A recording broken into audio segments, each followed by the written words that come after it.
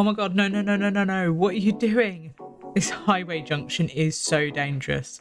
So, in today's episode, we're going to be changing out the highway connection and building a more acceptable dumbbell junction, which I'm hoping will improve our traffic flow on and off of the highway and into our city. Hello and welcome back. I'm Jabber Plays Cities Skylines, and it's lovely to see you. Okay, so we're going to start by deleting the industry area buildings and the park assets this side of the railway. This is so that we can make room and create space for a greenway overpass over the highway. And this is going to improve our walkability when we expand our city.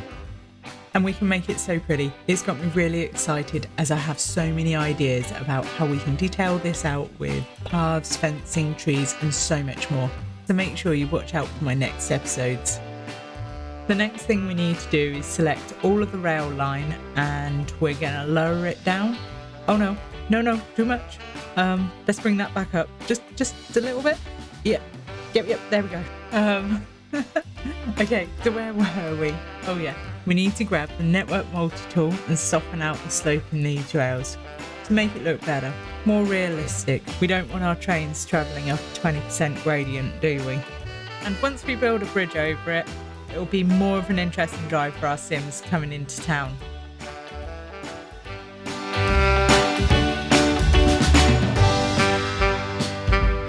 So now it's time we're going to delete the highway where we're going to put the greenway in.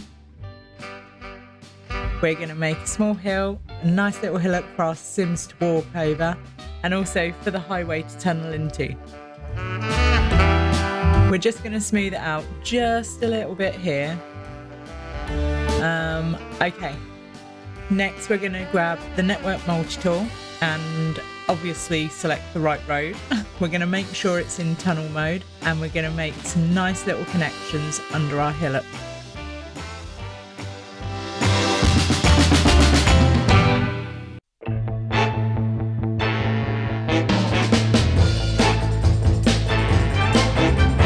We can raise the terrain just a little bit, just a touch, and then we'll smooth it out a little more.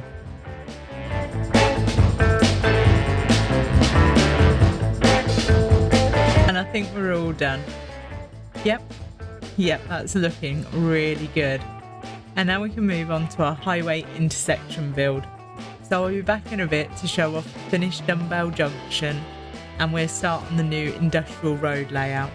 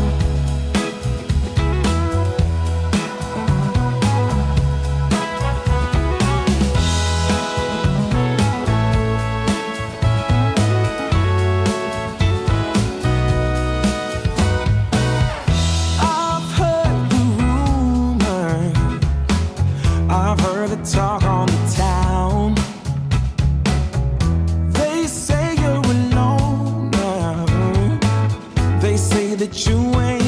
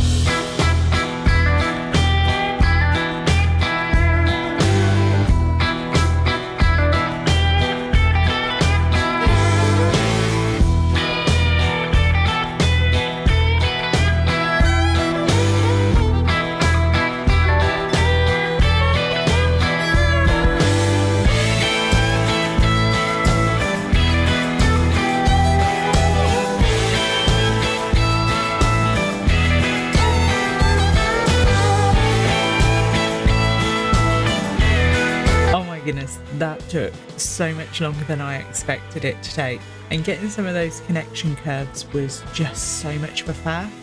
I thought the network multi tool would help me out and would save me time. Yeah.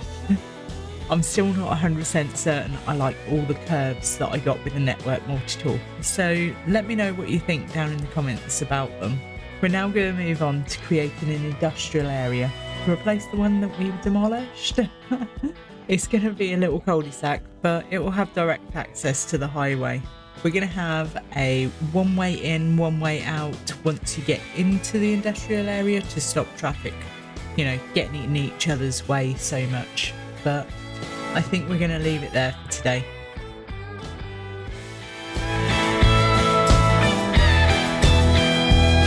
If you enjoyed today's video, please hit the like, subscribe and bell. It's all free to do. And if you have any suggestions or thoughts on today's build, please feel free to leave a comment below. It's lovely to hear from you. Now don't be shy, go ahead and click on one of my other videos on screen. I hope you all have a great day and thank you for watching.